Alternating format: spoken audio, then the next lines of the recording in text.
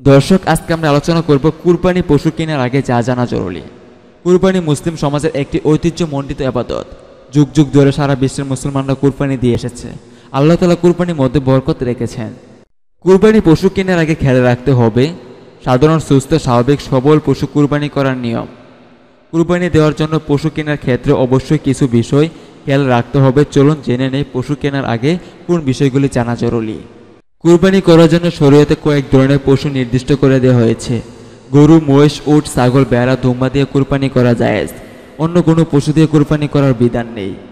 আর বয়সের ক্ষেত্রে ছাগল বেড়া দুম্বা অন্তত এক বছর।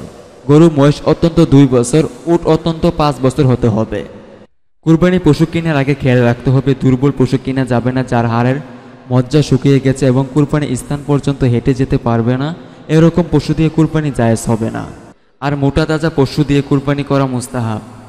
কোনো পশুর একটি পা যদি এমনভাবে নষ্ট হয়ে যায়, যে সে চলার পথে সেটি দিয়ে কোনো সাহায্য নিতে পারবে না, তবে ওই পশু দিয়ে কুরবানি হবে না।